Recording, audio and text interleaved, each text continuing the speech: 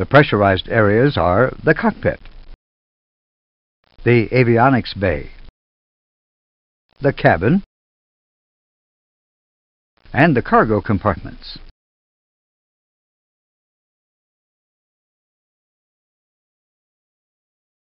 An outflow valve is used to regulate the amount of air allowed to escape from the pressurized areas.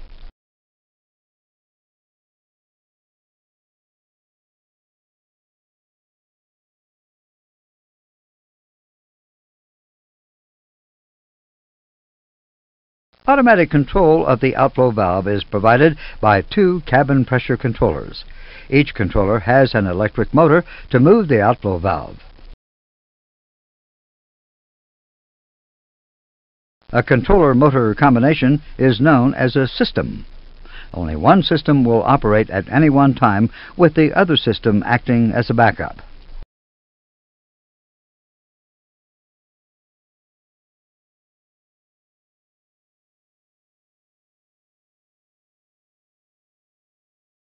A third motor is installed for use in the event of both automatic systems failing and requires a manual input to open or close the outflow valve. To avoid excessive cabin differential pressure, safety valves are installed.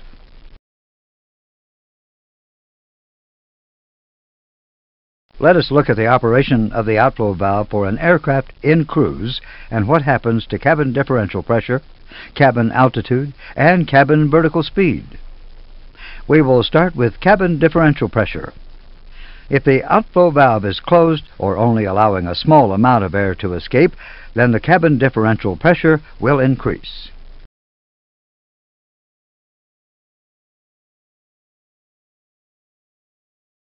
Now let's look at what happens to cabin altitude. If the outflow valve is closed or only allowing a small amount of air to escape, then the cabin altitude will descend.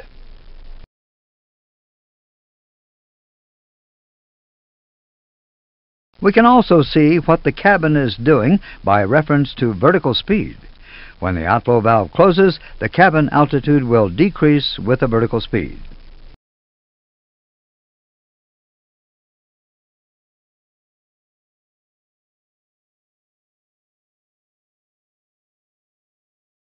If the outflow valve is fully open, a lot of air is allowed to escape. The cabin pressure will decrease, and the cabin altitude will climb with the vertical speed.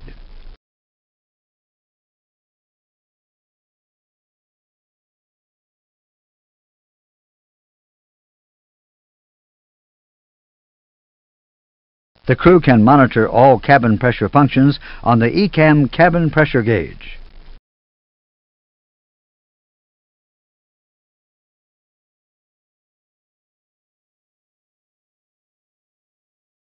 Let's look at the information associated with the pressurization system that is presented on the cabin pressure gauge. The pack indication is displayed green when the associated pack is on.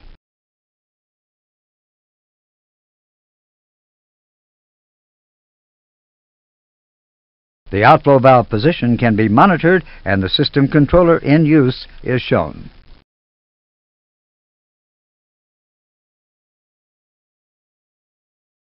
There is a single indication for the safety valves.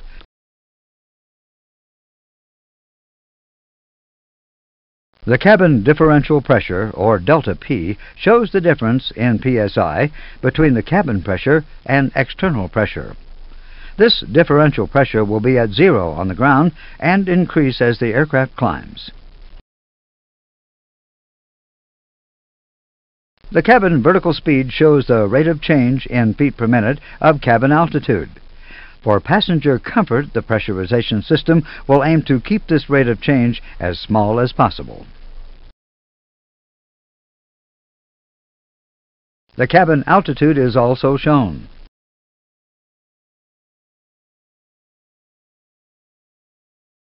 The vent, inlet, and extract indications are associated with the avionics ventilation system and will be discussed in a separate module. On the ECAM Cruise page, there are indications of cabin differential pressure, cabin vertical speed, cabin altitude.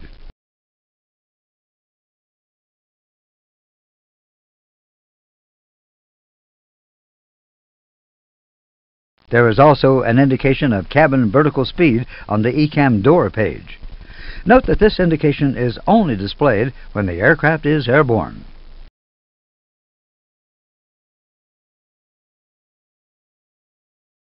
On the overhead panel there is a cabin pressure panel containing controls to operate the pressurization system.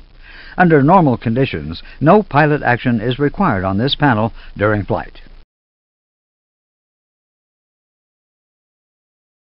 The pressurization mode select switch has two settings, automatic and manual.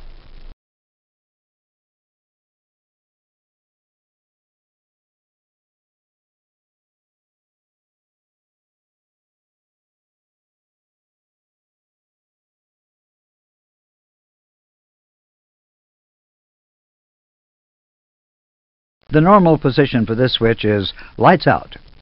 In this position, the pressurization system is in automatic mode.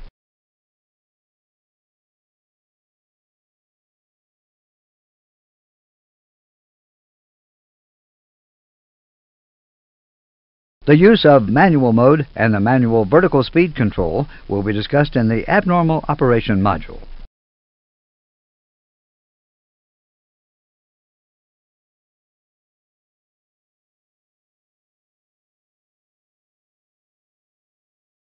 The landing elevation selector normally remains in the auto position.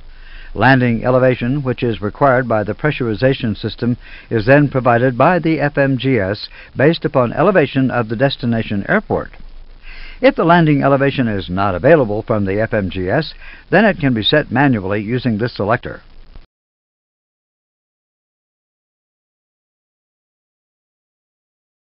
The guarded ditching switch is provided to close all valves below the waterline so that the aircraft can be sealed in the unlikely event of a ditching.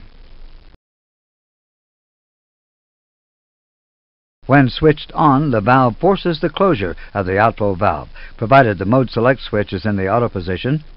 The emergency ram air inlet, avionics ventilation inlet and extract valves, and the pack flow control valves. This valve is used in cold weather operations whenever the aircraft is to be de-iced.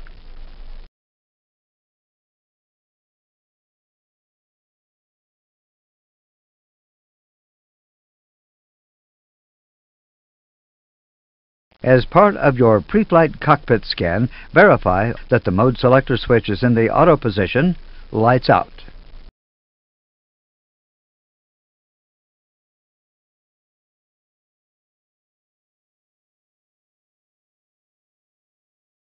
Confirm that the landing elevation selector is set to automatic. Landing elevation is then provided by the FMGS based upon elevation of the destination airport.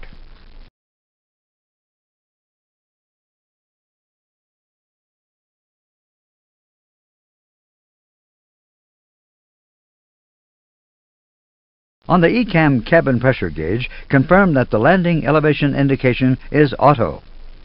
Once the destination airport has been entered into the FMGS, the destination landing elevation is displayed.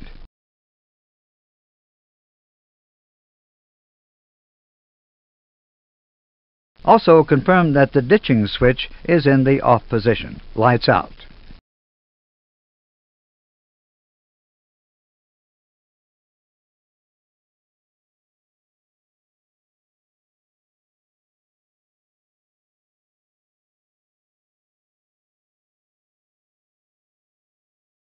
We will use a cabin pressure fault where one of the two automatic systems fails. At this time, the aircraft is in cruise and all systems are functioning normally.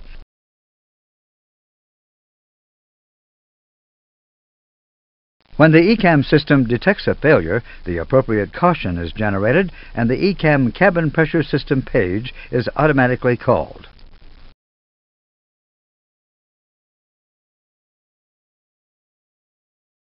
Due to the fact that this is only a crew awareness, there was no master caution.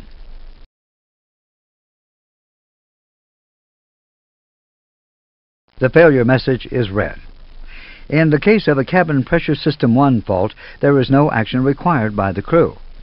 System 2 is automatically activated and controls the outflow valve.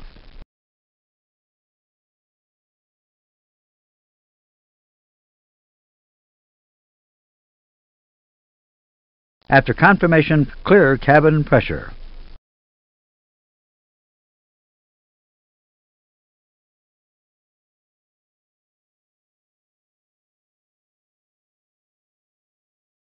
The status page is now displayed. There are no approach procedures to follow, and the inoperative system is Cabin Pressurization System 1.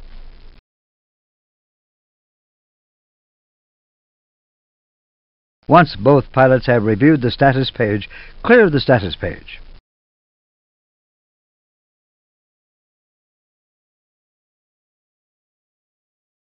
The status page is replaced by the cruise page.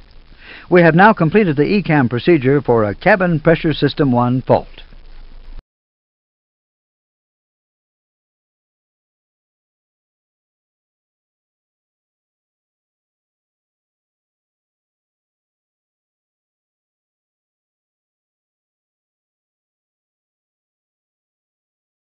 Let's look at a second failure to illustrate the functionality of the system. We will use a dual system fault to illustrate these procedures. The aircraft is in cruise at flight level 350.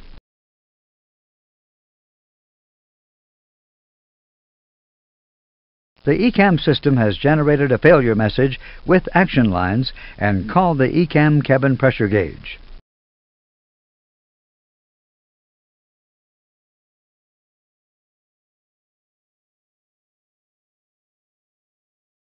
Read the ECAM failure title, and on the ECAM cabin pressure page, observe the indications shown in amber.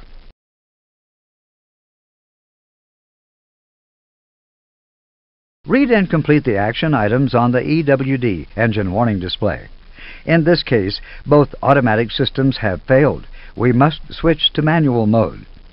Notice that the Mode Select switch has an amber fault indication to help you locate it. Switch to manual mode.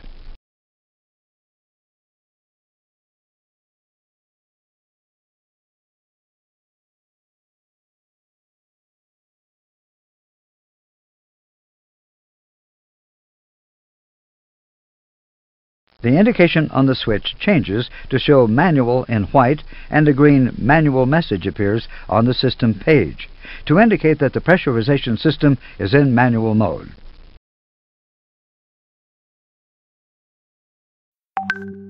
You must now control the pressurization of the aircraft by using the manual vertical speed control switch to move the outflow valve.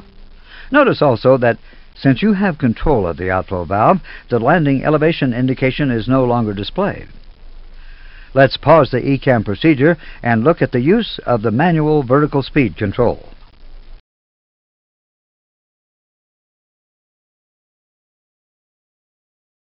The manual vertical speed switch is spring-loaded to neutral. If you hold the switch in the up position, the outflow valve slowly opens, the vertical speed will change and the cabin altitude will increase.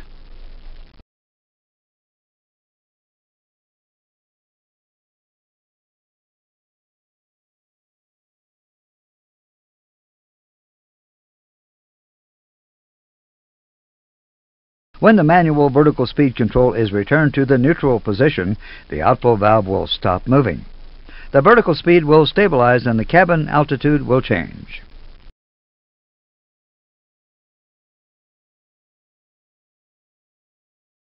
Conversely, if you hold the switch down, the outflow valve will close, the vertical speed will change, and the cabin altitude will decrease. Now let's return to the ECAM procedure.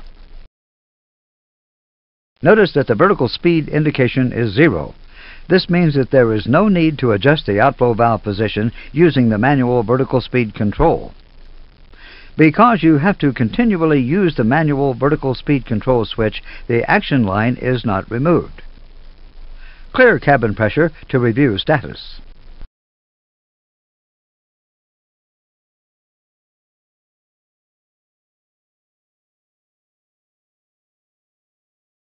The status page provides the pilots with information. Target vertical speeds, target cabin altitudes, which depend on the flight level, and a final approach procedure to set the manual vertical speed control fully up. This ensures that the outflow valve opens completely and the aircraft depressurizes. For our example, we are at flight level 350, so the target cabin altitude is 6,500 feet.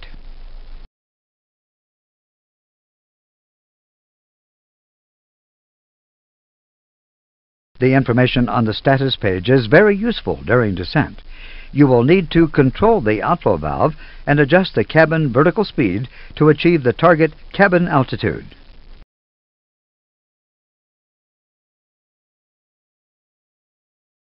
After confirmation, clear status.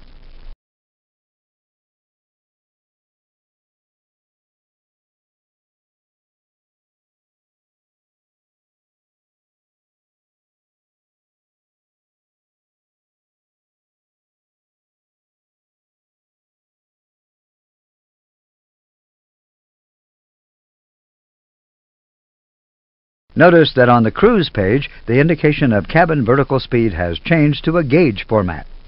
This, along with the cabin altitude indication, can be used to set the correct position of the outflow valve. The ECAM procedure for a cabin pressure system 1 and 2 fault is complete.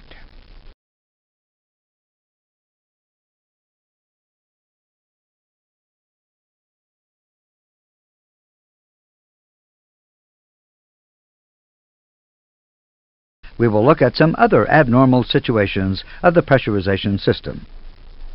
The aircraft is in cruise and all systems are working normally.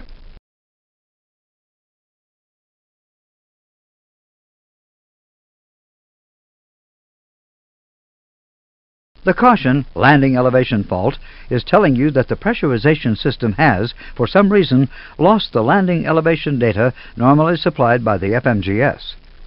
Notice that the landing elevation details on the system page are blank.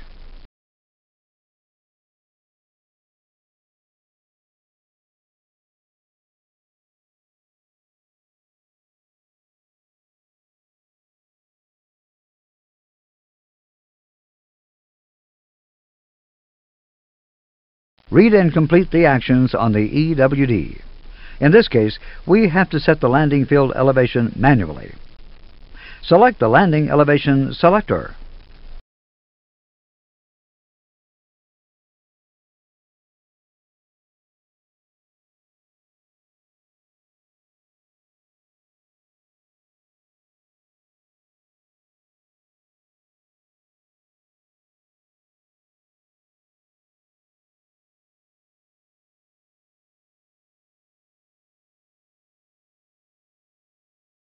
As soon as the selector is moved from the auto position, the action line on the EWD clears and a manual message appears on the cabin pressure page. The landing elevation value will also indicate the selected value.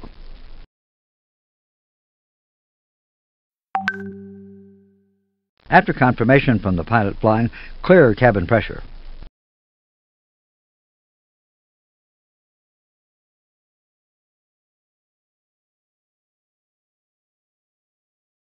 Notice that there is no call of the status page because we have set the landing elevation manually and the system is operative. There is a manual landing elevation indication on the cruise page. The ECAM actions are complete. To complete this module, let's look at some other abnormal indications and what they mean. If there is an excessive positive or negative differential pressure, one of the safety valves will operate.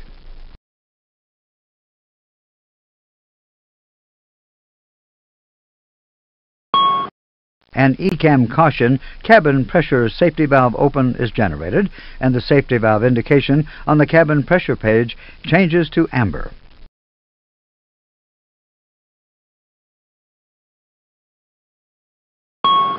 An ECAM caution cabin pressure outflow valve not open will be displayed if the outflow valve has not fully opened on landing.